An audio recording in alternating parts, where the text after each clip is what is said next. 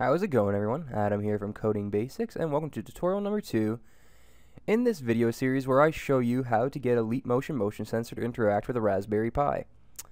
Now uh, tutorial number 1 wasn't really a tutorial, it was just showing you what our end result was going to be. Um, and just explaining a few things such as uh, you know how we're going to accomplish it. Well in this video we're going to start by uh, you know creating a new Eclipse project importing the Leap library, and then we're just gonna do like we're gonna do like the skeleton, like kind of like a skeleton coding. We're just gonna give our methods names, and then we're gonna fill in the codes for each one of those methods later. But anyway, uh, one thing I'd like to mention, we are doing this entire series in Java. It is possible to do in Python as well. Um, well, it's possible to do in any of the language that is any of the languages that um, the Leap Motion library works with. But um, Java is the one I'm doing this with, and it's pretty much the same for all the other languages. You just got to do it in that language's equivalent coding. But anyway, why I am on YouTube right now? Um, if you uh, haven't seen my uh, series on uh, Leap Motion yet with Java, I would suggest going over that first. Um, so you end up at my channel, um, Coding Basics, which you can get to just by uh, going to www.youtube.com slash coding basics. So, coding basics, no spaces or anything. It'll bring you right to here. And then if you go to playlists, these are all my uh, tutorial series that I've been working on. And if you go to my Leap Motion in Java one, there's 11 tutorials here that will, uh, you know, give you a really good background on what we're doing here. These just show you uh, all the different types of data we can get from a Leap Motion motion sensor. And yeah, so check that out if you haven't. It'd probably be some benefit to you. But anyway, let's get started with this tutorial series and let's launch Eclipse. So I'm using Eclipse Kepler for this. Um, doesn't matter which Eclipse version you use. The only thing is you have to have either Java 6 or Java 7 installed on your system. It does not work with Java 8, the Leap Motion library. So, you know, Java 7 or Java 6 it'll work with. Those are the only two it works with right now. Um, so select your workspace. Um, I have a workspace called Eclipse. And click OK.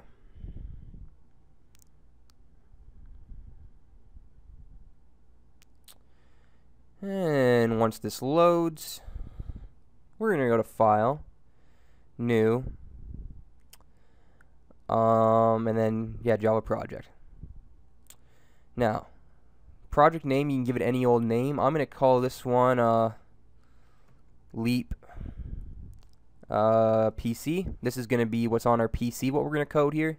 What's on the Raspberry Pi, um, we'll, we'll code somewhere else. But anyway, um, underneath the JRE section, uh, make sure you have checked off use an execution environment JRE and make sure Java SE 1.7 or 1.6 is selected.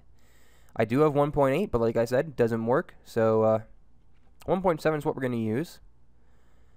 And click Next. And then uh, underneath Libraries, we're going to have to add our external jar. Now, uh, you might be lost. When did we download this? If you have, if you're not sure how to do that, go to the tutorial here, setting up Leap Motion with Eclipse. This is the video where I show you, you know, how to download all the Leap Motion drivers, how to download the software development kit, and how to add it to Leap Motion, um, or sorry, how to add it to an Eclipse project. So, uh, watch that video, pause this one, watch that one, then come back. And what we're going to do now is add an external jar. You want to navigate to where you, uh, have the Leap Motion SDK saved. I have this folder on my desktop called Development, which has all my uh, software development kits stored in. So you go into lib, and we're going to select leapjava.jar. Alright, now we're going to uh, click on this drop down arrow, highlight the native library location, and click Edit, External folder, and then we're going to navigate to that same Leap SDK folder. So uh, development, Leap SDK, lib. Now, uh, there is the 32-bit uh, or 64-bit libraries. I'm trying to remember. I believe I have a 32-bit version of Eclipse. I can't remember exactly, but anyway, I'm going to select that one. If it's wrong, we can just change that to the 64-bit one. So click OK and click Finish. And here's our Leap Motion project that we're going to be using. So, in click on the source folder, right click, new, and class. And we're going to call this one Leap PC as well. Leap PC, uh, yep, create the public static void main method. That'll save a bit of time. Alright, and yep, that's all we need to do. Click finish. And here is our class. Now, all we're going to do here is just do the skeleton code for all the methods and do all our importing. So this is what we have to import for this to work. So first, import com dot leap motion dot leap and then asterisk import the entire leap library all right. Next, import com dot leap motion dot leap dot finger with a capital F dot type with a capital T. And that will be important later when determining which finger is being pointed at the screen. Uh, the next thing is we got to import our gesture states. So import com dot leap motion dot leap dot gesture dot state. Gesture with a capital G, state with a capital S. Alright, so that's taking care of all the different uh, stuff, I guess you could call it, that we need from the Leap Motion libraries. Now we're going to import all the stuff we need for server sockets. So, like I mentioned in the first tutorial, how we're going to do this is we're going to have the Leap Motion connected to a PC, MacBook, you know, whatever. Just some computer that's powerful enough to run the Leap Motion Motion Sensor because the Raspberry Pi isn't. We're then going to send the information from the Leap Motion to the Raspberry Pi. So we're going to be using server sockets for that. So we're going to import java.net, use an asterisk to import the entire package. Oops, I forgot to put a period after net. Alright. Next we're going to import java dot awt dot event dot input event and then import java dot awt dot event dot key event Alright, and then we're going to import the java.io package. So import java.io. And then an asterisk. Alright. So that takes care of all the stuff we need for getting input and output. Uh, so I just want to see how long this video is. Okay, we're still fine for time. And then next we're going to import the uh, J option pane from the uh, swing package. So import java x dot swing dot j option pane. And what this is going to do, it's going to pop off if it can't connect to the uh, server on our Raspberry Pi. So that's just going to be for error pop-ups. Alright, so now we have everything imported that we're going to need for this entire project. But now we gotta do all the methods. So first thing we have to do is make our class extend. So extends, it'll turn purple because it's a keyword, and then it's going to extend listener. Listener is a class is that's part of the Leap Motion uh, library.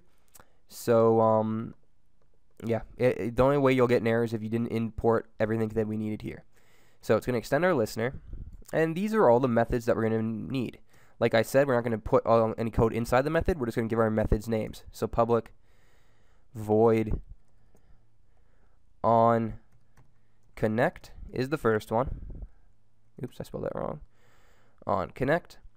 And as a parameter, it's going to take a controller, and we're going to call that controller. And controller is also a class part of the Leap Motion library. So uh, that's going to be the parameter, and that's all we're going to do right now for that method. We'll do the code for the method later. Next, we are going to do the onFrame method. So public public void onFrame, capital F onFrame, and it's also going to take a controller name controller as a parameter. And then, let me just flip to the next page of my notes. Alright, the next thing we're going to create is a method called connect to server. So this is going to be the our method that connects to the server on the Raspberry Pi. So this is going to be a private void.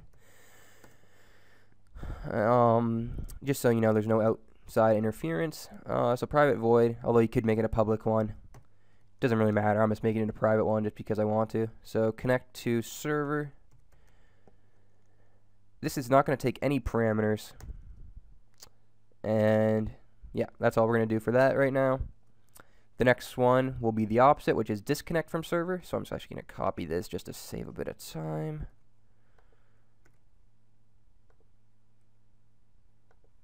So disconnect from server.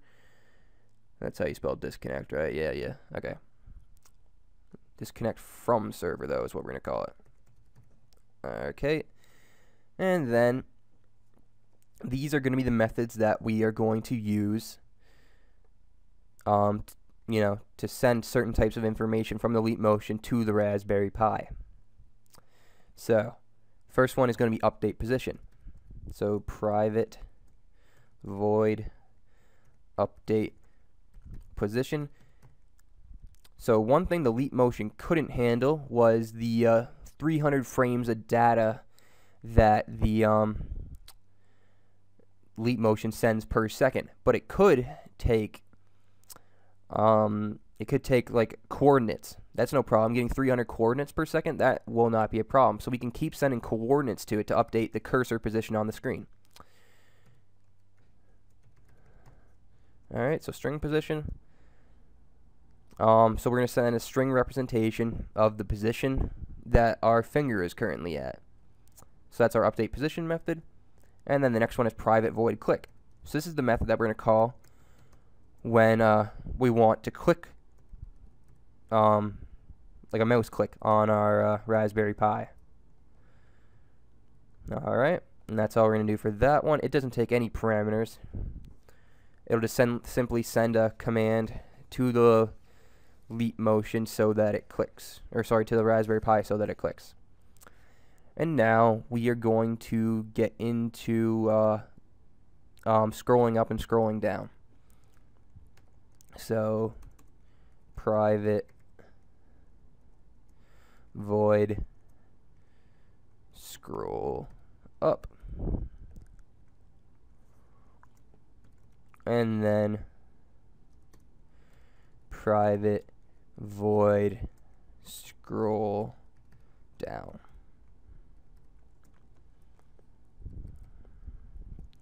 And the final skeleton method we're going to put in here is our swipe one. So whenever we swipe, we want to launch the start menu.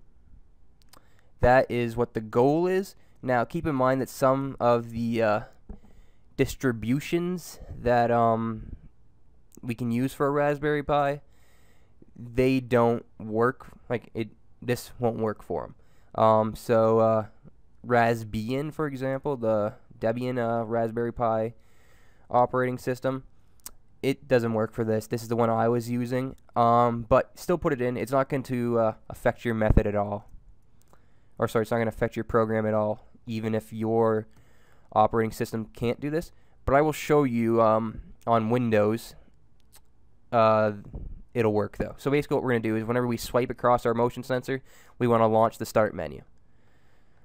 Okay, and yeah, that's the final method. So those are all our skeleton methods. Next one, we're going to get into the coding.